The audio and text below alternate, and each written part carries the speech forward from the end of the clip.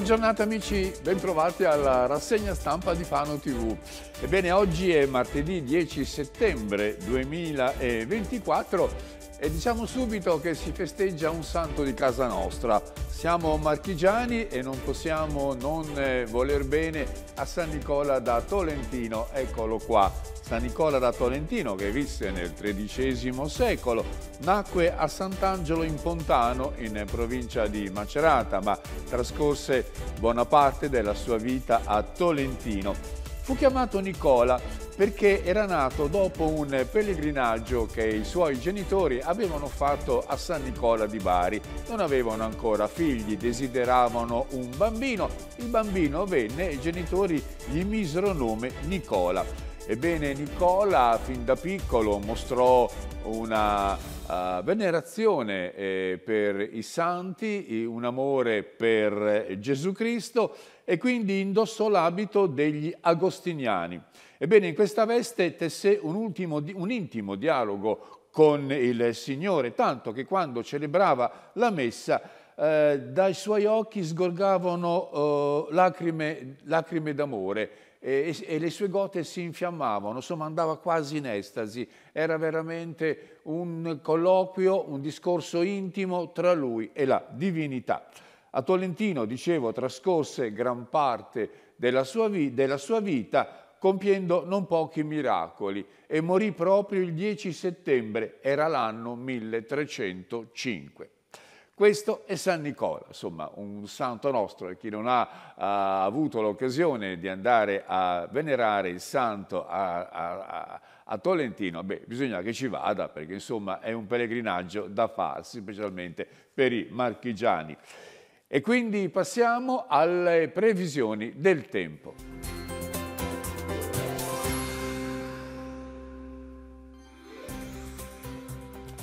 Torna, torna, il bel sole dopo gli acquazzoni dei giorni scorsi. C'è ancora una residua instabilità al mattino sulla porzione centro-meridionale della regione. A seguire ci sarà un generale miglioramento del tempo, quindi il cielo sereno, sulle coste i venti spireranno da nord e nord-est, nell'entroterra da nord. Il mare è leggermente mosso, le temperature leggermente in calo, 20 la minima, 27, 27 la massima, quindi non si raggiungono più eh, i limiti dei 30 gradi.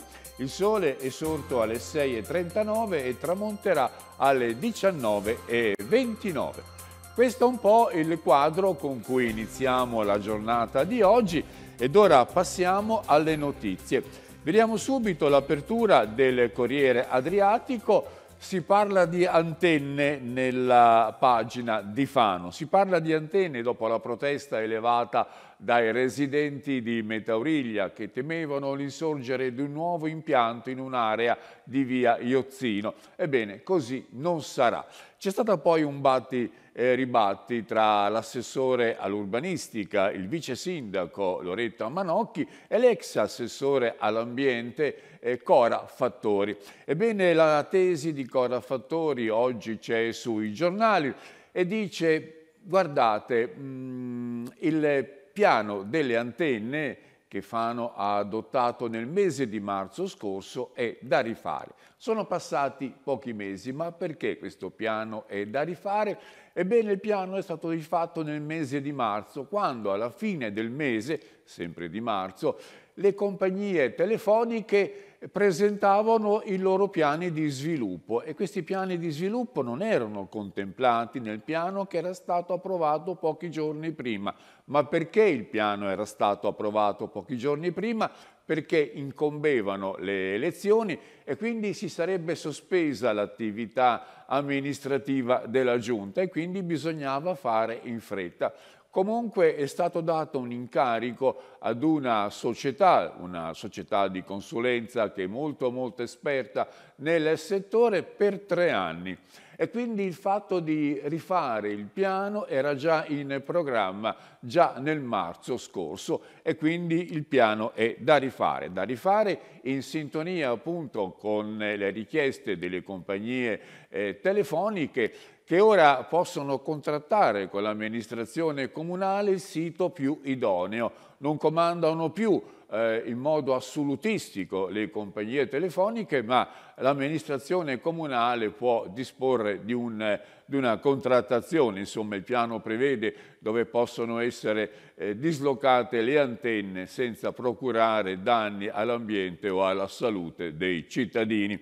Insomma, queste sono alcune precisazioni che fa l'ex assessore Cora Fattori che rivendica insomma, la giunta precedente il merito di aver così posto delle regole ad una uh, situazione selvaggia precedente che permetteva alle compagnie di fare il bello e cattivo tempo. Fano si è dotata tra le prime delle marche, se non la prima delle marche, di questo nuovo piano antenne che consentirà appunto ai cittadini di avere almeno uno scudo, non so quanto protettivo, ma almeno uno scudo lo avrà per proteggersi dalle emissioni dannose degli impianti eh, telefonici. Insomma, sono necessari perché la copertura deve essere totale del territorio, ma non devono essere dannosi, prima di tutto per la salute e poi anche per l'ambiente avvistati due lupi, due lupi in città e non è la prima volta.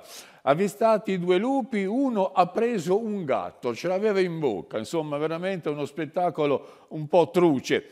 Una nuova segnalazione, dopo quella del Vallato, è stata fatta Uh, uh, dunque, ce ne sono fatte due di segnalazioni, una al Vallato e una a San Lazzaro nel giro di nemmeno 24 ore. Probabilmente è la stessa coppia di lupi che di notte insomma, si fa viva, uh, di giorno se ne sta acquattata da qualche parte e di notte invece gira nei quartieri. Che cosa? La ricerca di cibo, ovviamente. E se trova un gatto oppure anche un cagnolino che magari è rimasto fuori di casa, beh, la situazione diventa drammatica. Non dovrebbero essere aggressivi per eh, gli uomini e, e quindi, insomma, da questo punto di vista dovremmo stare sicuri, però insomma il fatto che lupi, lupi eh, selvaggi girino per la città, insomma non, c'è da stare tanto tranquilli. E allora invece parliamo dell'evento che sta così rivoluzionando un po' la vita nelle famiglie di questi giorni, perché inizia l'anno scolastico, inizia l'anno scolastico, i bambini lasciano alle spalle, e anche i ragazzi lasciano alle spalle le vacanze, cominciano a pensare agli studi, si, si, preparano i libri, si mettono a posto le cartelle e ci si inquadra in un nuovo sistema di vita. Ebbene, prima campanella ieri dell'anno 2024-2025 per le bambine e i bambini iscritti alle scuole dell'infanzia, alle scuole materne. Abbiamo visto come il 4 settembre sono iniziati eh, gli asili nido, quei bambini più piccoli, quelli da 0 a 3 anni, ebbene ieri invece sono cominciate le scuole dell'infanzia, le scuole materne fino a 6 anni quando poi si cominciano le scuole elementari. Ieri mattina hanno ricevuto i bambini il saluto, anche eh, gli insegnanti ovviamente, eh, il saluto del sindaco Luca Serfilippi e dell'assessore ai servizi educativi Loredana Mangernino i quali hanno avuto l'occasione di confrontarsi anche con il personale scolastico, eh, il quale ha messo in evidenza un po' i problemi che ancora incombono sulle scuole e sui servizi, appunto. Eh, il cuore del percorso educativo per i nostri bambini e ha detto il sindaco Serfilippi, è proprio in questo inizio del sistema educativo, un sistema educativo per il quale Fano si è sempre distinta.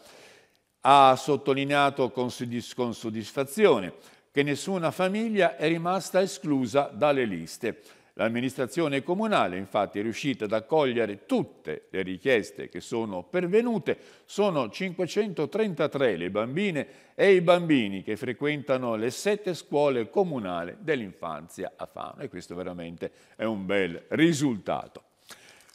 Vediamo ora un articolo che riguarda il turismo, un turismo comprensoriale, non solo cittadino, un turismo che implica anche il comune di San Costanzo per quanto riguarda le frazioni di Camminate, Metauriglia e Stacciola, insomma sono quelle frazioni che sono in, al confine, che sono insomma molto molto vicine tra i comuni, tra il, nel confine tra i comuni di San Costanzo e di Fano. Ebbene, in questo caso c'è una possibilità di concorrere a un bando regionale importante. Si tratta del bando regionale Borgo Accogliente, pubblicato lo scorso maggio e destinato alle realtà inserite nell'elenco dei borghi storici. San Costanzo è uno di questi. Ebbene, concorrere insieme vuol dire eh, valorizzare le proprie opportunità storico-culturali, ambientali artistiche e quindi si fa un progresso e si ricevono ovviamente eh, più finanziamenti, più soldi per poter appunto porsi in evidenza a livello nazionale. Ieri sono stati accolti gli ospiti che da Rastat eh, vengono uh, a Fano un anno sì e un anno no. Ebbene, questa è l'iniziativa uh, Foresta Nera Mare Blu, un'iniziativa che quest'anno festeggia i 25 anni ed è un punto importante, un collante che tiene unito il gemellaggio tra Fano e Rastat, un gemellaggio che il prossimo anno compie 40 anni di vita ed è forse il gemellaggio più attivo, quello più sentito, quello ancora più vitale tra le due eh, eh realtà, tra le due, tra le due, cittadinanze. Abbiamo a Fano altri gemellaggi, Saint-Ouen e Lomont purtroppo è svanito, un po' così, forse potrà essere recuperato. Abbiamo eh, Gandia, abbiamo Velisca, abbiamo St. Però quello più attuale, quello più sentito è quello di Rastat, a cui era intitolato l'anfiteatro, che è stato oh, così eh, smantellato in eh, sostituzione di una pedana che ora al momento attende un nome, probabilmente non so se avrà lo stesso nome oppure sarà cambiato. Comunque in questo caso Foresta Nera e Mare Blu eh, invita a, a Fano oh, 33 persone di cui sono molti disabili, sono sette gli accompagnatori, che trascorreranno a Fano, nella nostra città, una settimana, andranno al mare, visiteranno la città, visiteranno anche l'entroterra e il prossimo anno toccherà invece ai fanesi andare a Rastat a trascorrere la vacanza. Ebbene, è un di quelle, di quelle iniziative di solidarietà che durano nel tempo e costituiscono, come ho detto, lo zoccolo duro di questo gemellaggio. Sapori, storia e sensazioni, rilanciati grandi eventi a Pergola, dove si è così eh, reso noto il programma di promozione di attrattive di questo bellissimo centro della Valle del Cesano. Tornano i grandi eventi a Pergola, sono stati presentati presso la Confcommercio Marche Nord di Pesaro con l'animazione di alcuni componenti del gruppo, la Pandolfaccia, che vanno sempre colore locale, la Pandolfaccia lo sappiamo, è di Fano. Ebbene, da giugno eh, si inizia a rilanciare la Fiera Nazionale del Tartufo e farla tornare la kermesse più prestigiosa d'Italia, con l'obiettivo che superi i confini nazionali e diventi internazionale. E poi ci sono altre iniziative, i grandi eventi saranno promossi dal Climb delle 3S, ovvero sapori autentici dei nostri prodotti tipici, storia millenaria, quella dei bronzi dorati e le sensazioni indimenticabili che ci regalano le marche, l'unica ragione al plurale. Bene, a Pergola abbiamo storia, abbiamo gastronomia, abbiamo colore locale. Insomma, eh, cosa ci vuole di più per trascorrere una bella vacanza, una bella visita culturale, ma anche gastronomica, perché insomma il tartufo è uno dei elementi, prodotti più pregiati del nostro territorio. Don Emanuele, Don Manuele si congeda dalla parrocchia.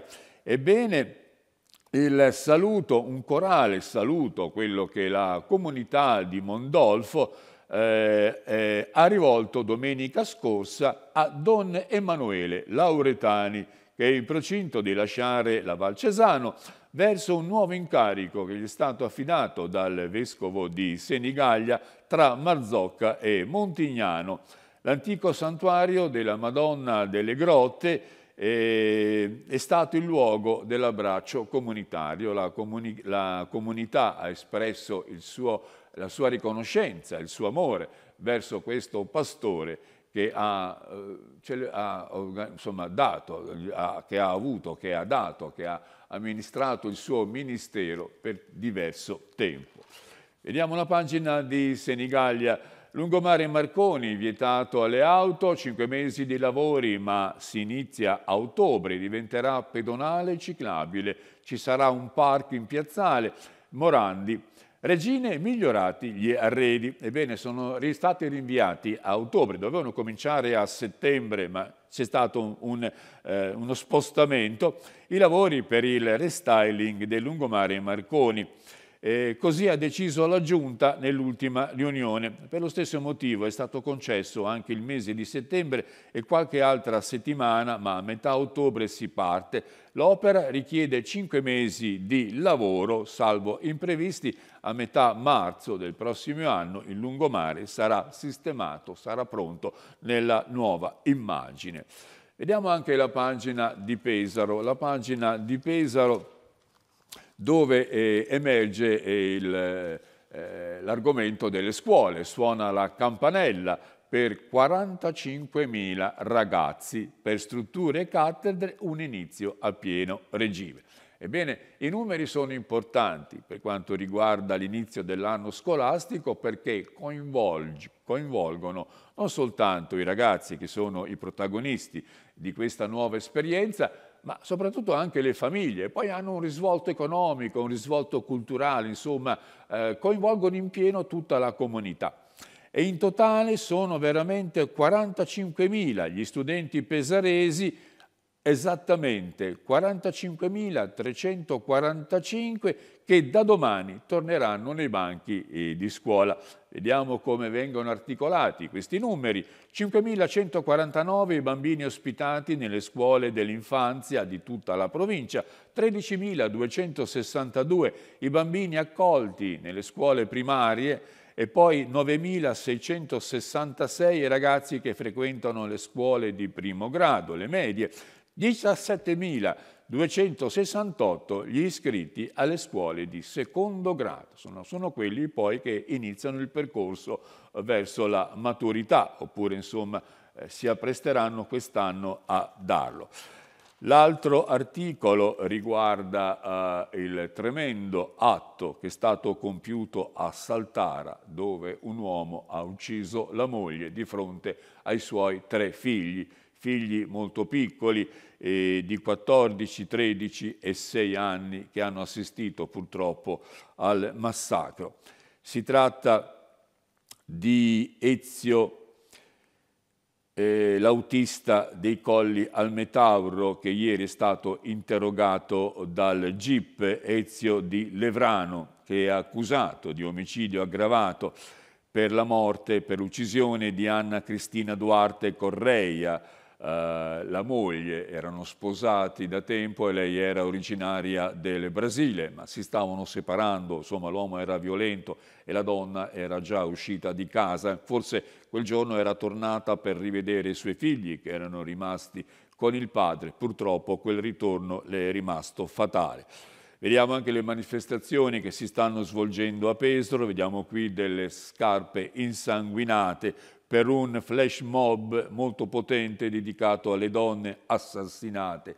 Appunto, sembra che sia una, uh, così, un massacro, un, una fila di, di delitti che non, non termina mai, veramente è una cosa indescrivibile.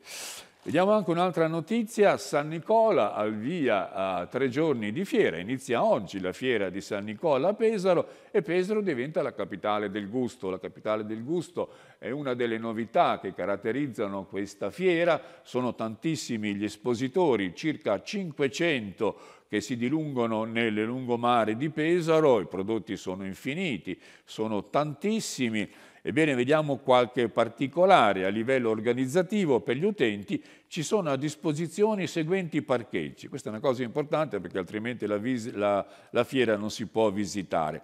Ebbene, i parcheggi sono Villa Marina, il parcheggio è gratuito con 160 posti auto.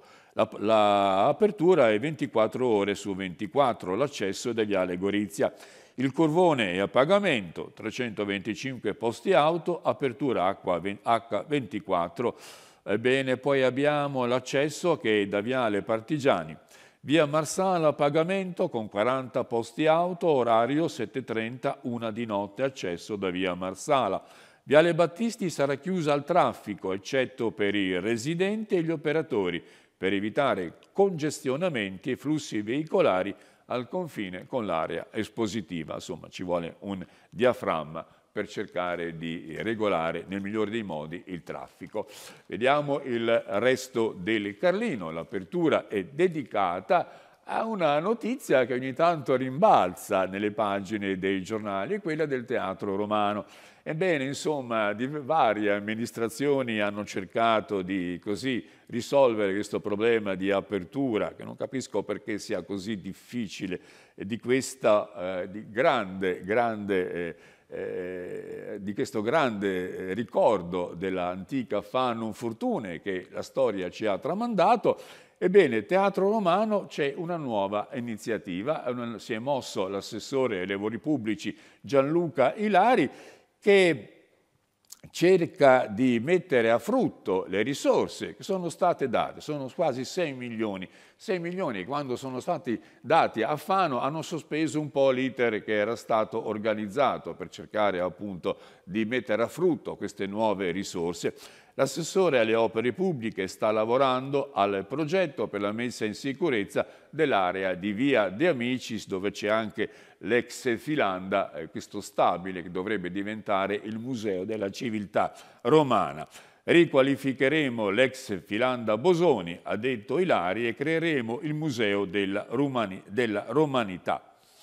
E speriamo insomma, che quello che si accinge a fare l'assessore Ilari ottenga i suoi frutti e avrà l'appoggio di tutta la città. Trovato morto in casa, aveva solo 49 anni. Si tratta di Fausto Capodagli, un semplice idraulico, ma era ben amato e ben voluto da tutti coloro che lo conoscevano è molto conosciuto a Tombaccia, dove era nato e cresciuto.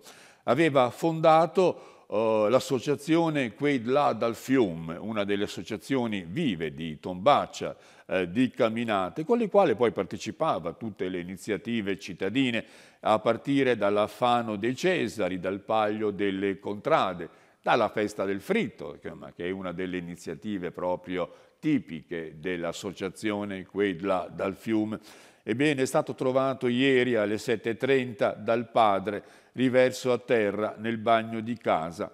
Immediato scattato l'allarme, è intervenuto il 118, ma purtroppo eh, non c'è stato nulla da fare. La sua morte probabilmente era avvenuta già qualche eh, minuto oppure qualche tempo prima e quindi non c'è stato nulla da fare. Tribunale del malato. Tribunale del Malato forse non tutti sanno che è all'ospedale. Santa Croce perché questa è una, è una entità che non ambisce a eh, salire sulla cronaca, non ambisce ai titoli in prima pagina, è un'entità che lavora sottotono, ma che lavora, lavora fattivamente all'ospedale, assiste i malati, assiste i familiari dei malati e cerca di fare valere i propri diritti. Però questa entità è ridotta ormai all'osso. Uh, la curano soltanto due persone, una di queste è la Presidente del Tribunale del Malato, Adriana Amello. Ebbene, rischia la chiusura il Tribunale dei diritti del malato di Fano perché mancano i volontari. Siamo rimasti in due, ha detto Amello, io e una fisioterapista in pensione. E non possiamo assicurare l'apertura al pubblico dell'ufficio all'interno del Santa Croce, si trova nel blocco B a piano terra. per più di due volte la settimana, il martedì e il giovedì dalle 9.45 alle 12.30 anche se negli altri giorni io lavoro da casa, ha detto la Presidente. Insomma, si trovano in difficoltà e speriamo che insomma, qualcuno aderisca a questo invito. E con questa notizia noi terminiamo la nostra rassegna stampa dandovi appuntamento, come sempre, a domani alle ore 7. Grazie per l'ascolto e a risentirci.